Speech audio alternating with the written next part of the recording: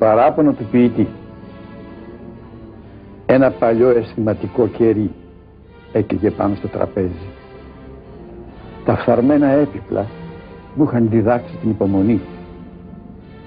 Μόνο ένα Θεέ μου, δεν έζησα έχοντας να μεριμνήσω για τόσα φύλλα την άνοιξη.